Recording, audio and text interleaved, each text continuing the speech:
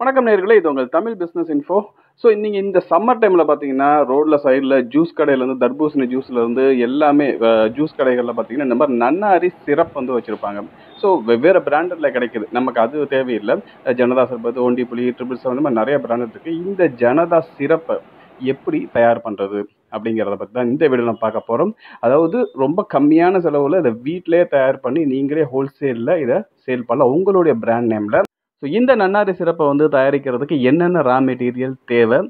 இப்போ அதாவது கமர்ஷியலாக உங்களுக்கு மார்க்கெட்டில் கிடைக்கிற அந்த நன்னாரி சிறப்பு நான் சொல்கிறேன் என்னென்ன ரா மெட்டீரியல் தேவை? என்னென்ன அளவுகளில் தேவை? அதாவது ஒரு லிட்டர் தயாரிக்கிறதுக்கு என்னென்ன அளவு? அதே சமயத்தில் இது கெட்டு போகாமல் இருக்கிறதுக்கு கிட்டத்தட்ட ஒரு வருஷம் கெட்டு போகாமல் இருக்கிறதுக்கு கிளாஸ் டூ ப்ரெசர்வேட்டிவ் அப்படின்னு இருக்கும். அது பின்னாடி பார்த்தீங்க அப்படின்னாக்கா அந்த கிளாஸ் டூ ப்ரெசர்வேட்டிவ் என்ன? அது என்ன அளவுகளை சேர்க்கணும்? அது யாருக்குமே தெரியாது. ஸோ என்ன அளவுகளை சேர்க்கணும்? எப்படி சேர்க்கணும்? அப்படிங்கிற அந்த விவரம்.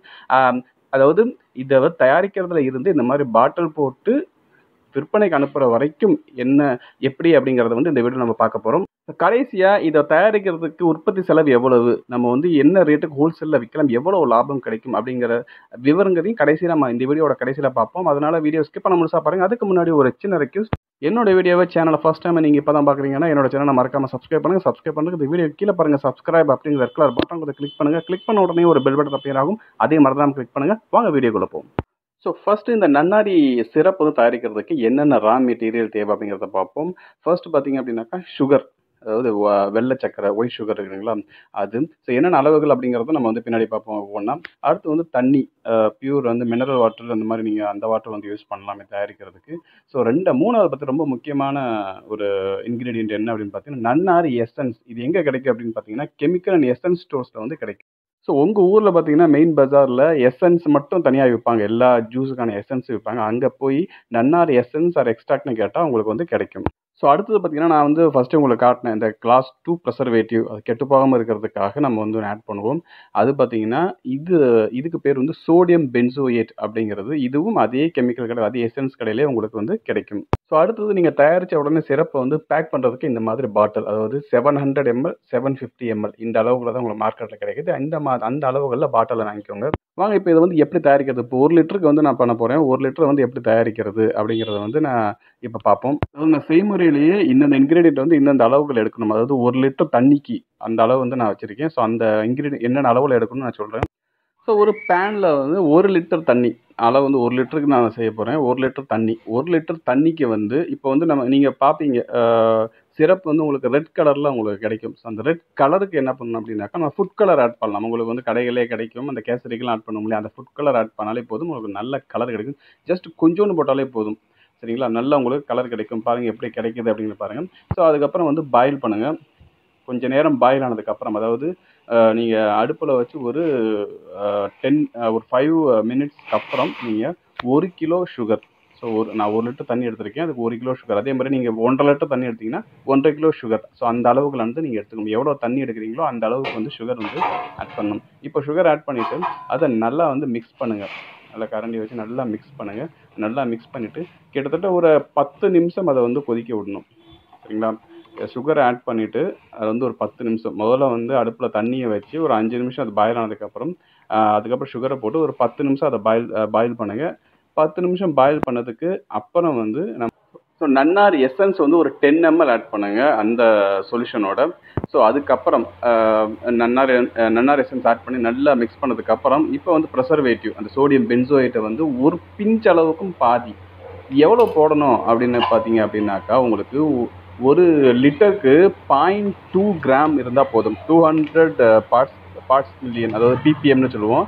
பாயிண்ட் டூ ஒரு லிட்டருக்கு வந்து பாயிண்ட் டூ கிராம் ஒரு கிராம் ரெண்டு கிராம் கூட இல்லை பாயிண்ட் டூ கிராம் போட்டாலே போதும் இந்த சோடியம் பென்சோயேட் ஸோ இதை தான் பார்த்தீங்கன்னா எல்லா அந்த ஃப்ரூட் ஜூஸஸ்ஸு ஜாமு இந்த மாதிரி எல்லா எல்லா ஃபுட் ப்ராடக்ட்ஸ்லையுமே பெவரேஜஸ்லையுமே யூஸ் பண்ணுற ஒரு என்ன சொல்கிறது அந்த கிளா ப்ரெசர்வேட்டிவ் கிளாஸ் டூ ப்ரெசர்வேட்டிவ் அப்படின்னு சொல்கிறது கிளாஸ் ஒன் ப்ரெசர்வேட்டிவ் அப்படின்னு natural preservative sugar salt oil இதெல்லாம் பார்த்தீங்கன்னா கிளாஸ் ஒன் ப்ரெசர்வேட்டிவ் இயற்கையாக இருக்கிறது. கிளாஸ் டூங்கிறது இந்த மாதிரி எஃப்எஸ்எஸ்ஏயால் அங்கீகரிக்கப்பட்ட ப்ரெசர்வேட்டிவ்ஸ் தான் அந்த கிளாஸ் டூ ப்ரெசர்வேட்டிவ்ஸ் ஸோ இப்போ நீங்கள் ப்ரெசர்வேட்டிவ் எப்போ ஆட் பண்ணணும்னா கடைசி சமயத்தில் மொத்தமாக பார்த்தீங்கன்னா ஒரு இருபது நிமிஷம் நீங்கள் வந்து பாயில் பண்ணுற மாதிரி இருக்கும். அந்த அந்த கேப்பில் நான் சொன்ன ஃபஸ்ட்டு ஒரு ஃபைவ் மினிட்ஸ்க்கு அப்புறம் சுகர் போடணும். சுகர் போட்டு ஒரு டென் மினிட்ஸ்க்கு அப்புறம் எசன்ஸ் வந்து ஆட் பண்ணணும். எசன்ஸ் ஆட் பண்ணி நான் கொஞ்சம் பாயில் ஆனதுக்கப்புறம் அது வந்து ஒரு ஒன் ஆர் டூ மினிட்ஸ்க்கு அப்புறம் பார்த்தீங்க அப்படின்னாக்கா இந்த சோடியம் பென்சோயிட் ப்ரிசர்வேட்டிவ் ஆட் பண்ணணும். அதுக்கப்புறம் ஒரு ஃபைவ் மினிட்ஸ் அவ்வளோதான் அது நீங்கள் வந்து எடுத்துடலாம். ஸோ மொத்தமாக வந்து ஒரு ஃபிஃப்டீன்லேருந்து டுவெண்ட்டி மினிட்ஸ் வந்து இருந்தாலே போதும் அடுப்பில். இப்போ எடுத்துகிட்டு அதை கூல் பண்ணணும். கூல் பண்ணதுக்கப்புறம் பார்த்தீங்கன்னா உங்களுக்கு நல்ல திக்கான கன்சிஸ்டன்சி கிடைக்கும். அதாவது நீங்கள் வந்து பாயில் பண்ணி அடுப்பில் வந்து எடுக்கும்போது பார்த்தீங்கன்னா கொஞ்சம் லிக்யூடாக இருக்க மாதிரி தான் இருக்கும். பட் ஆனால் அது ஆறுனதுக்கப்புறம் கூல் ஆனதுக்கப்புறம் பார்த்தீங்கன்னா நல்லா வந்து அப்படியே கன்சிஸ்டன்சி விஸ்காசிட்டி அதிகமாகி அந்த சிறப்பினுடைய கன்சிஸ்டன்சிக்கு அது வந்துடும் ஸோ இப்போ நான் தயாரிக்க அது கூல் ஆனதுக்கப்புறம் அதோட கன்சிஸ்டன்சியை பாருங்க. ஸோ இப்போ நீங்கள் அதை வந்து எடுத்துட்டு நீங்கள் அதில் வந்து ஊற்றுனீங்க அப்படின்னாக்கா இந்த மாதிரி திக்னஸ் வந்து உங்களுக்கு கிடைச்சிருக்கும். அதாவது இது கூல் ஆனதுக்கப்புறம் தான் அந்த திக்னஸ் கிடைக்கும். ஆறும் பொழுது உங்களுக்கு லிக்யூடாக இருக்கிற மாதிரி தான் இருக்கும். அதாவது சூடாக இருக்கும்போது அடுப்புல இருந்து எடுக்கும்போது லிக்யூடாக இருக்க மாதிரி தான் இருக்கும். பட் அது ஆறுனதுக்கப்புறம் இந்த மாதிரி கன்சிஸ்டன்சி உங்களுக்கு வந்து கிடைக்கும். பாருங்கள் ஸ்ட்ரிங்கு மாதிரி இருக்கும். ஸோ ஓகே இப்போ சிரப் வந்து ரெடி ஆச்சுங்க இப்போ வந்து எப்படி பேக் பண்ணுறது இது எவ்வளோ ப்ரொடக்ஷன் காஸ்ட் எவ்வளோ வரும்? எவ்வளோ ப்ராஃபிட் வரும்னு பார்ப்போம். ஸோ இப்போ நம்ம வந்து ஒரு லிட்டரு தண்ணி ஒரு ஒரு ஒரு கிலோ சுகர் எடுத்தோம் இல்லையா? அதுக்கான இப்போ காஸ்ட்டை பார்த்தீங்கன்னா இப்போ சுகர் பார்த்தீங்கன்னா முப்பத்தி அஞ்சு ரூபா ஒரு கிலோ. ஹோல்சேலில் வாங்கினீங்கன்னா இதை விட கம்மியாக வரும். எசன்ஸ் வந்து உங்களுக்கு ரெண்டு ரூபா வரும். ரெண்டு ரூபா செலவாகும். எஸ்பி அதாவது சோடியம் பென்சோயிட் வந்து ஒரு ரூபா செலவாகும். ஏன்னா அது வந்து நூறு கிராம் பார்த்தீங்கன்னா முப்பது ரூபா தான். ஸோ எசன்ஸ் வந்து நான் ஒரு லிட்டர் ஒரு கிலோ சர்க்கரைக்கு வந்து டென் எம்எல் வந்து நான் யூஸ் பண்ணேன். டென் எம்எல் அதாவது ஃபைவ் ஹண்ட்ரட் எம்எல் அரை லிட்டர் பாட்டில் வந்து நூற்றி ஐம்பது ரூபாய்க்கு நான் வாங்கினேன் ஹோல்சேலில் அப்போ வந்து எனக்கு ரெண்டு ரூபா ரெண்டு ரூபா அந்த ஒன்றா ரூபா ரெண்டு ரூபா தான் கணக்கு வருது எனக்கு. ஸோ அடுத்து வந்து பேக்கிங்க்கு வந்து அதாவது அந்த பாட்டில் ஹோல்சேலில் வாங்கினா ப்ளஸ் அதுக்கான ஸ்டிக்கர் ரெண்டுமே சேர்த்து பார்த்தீங்கன்னா ஆறு ரூபா போட்டிருக்கேன். ஆறு ரூபா செலவு போட்டிருக்கேன். அதர்ஸ் அதர் செலவு டிரான்ஸ்போர்ட்டேஷன் மற்றதெல்லாம் இந்த ஒரு கி ஒரு அதாவது ஒரு கிலோ ஒரு கிலோ சர்க்கரைக்கும் ஒரு லிட்டரு தண்ணிக்கும் ஆகிற செலவு. ஸோ மற்ற செலவுகள் அதர்ஸ் அஞ்சு இப்போ வந்து இதுக்கு வந்து ஐம்பது ரூபாய் எனக்கு செலவாச்சுங்க. பட் இந்த ஐம்பது ரூபாய்க்கு அதாவது ஒரு லிட்டர் தண்ணி ஒரு கிலோ சர்க்கரையில் கிடைக்கிற எனக்கு சிறப்புக்கு வந்து ஐம்பது ரூபா செலவாச்சு. பட் ஆனால் இதில் வந்து ரெண்டு பாட்டில் எனக்கு கிடைச்சிது. ஸோ உங்களுக்கு வந்து நான் லைவ் நேர்லேயே நான் உங்களுக்கு காட்டுறது பார்த்தீங்கன்னா அதே மாதிரியான ஒரு பாட்டில் எம்டி பாட்டிலில் நான் வந்து தயார் பண்ண சொல்யூஷனை ஊற்றினேன் அது எழுநூறு எம்எல் பாட்டில் அதில் போட்டு இன்னும் எனக்கு வந்து சொல்யூஷன் வந்துச்சு. அதுவும் வந்து இன்னொரு பாட்டிலுக்கு எழுநூறு எம்எல்க்கு மேலே அது இருந்துச்சு. சரிங்களா?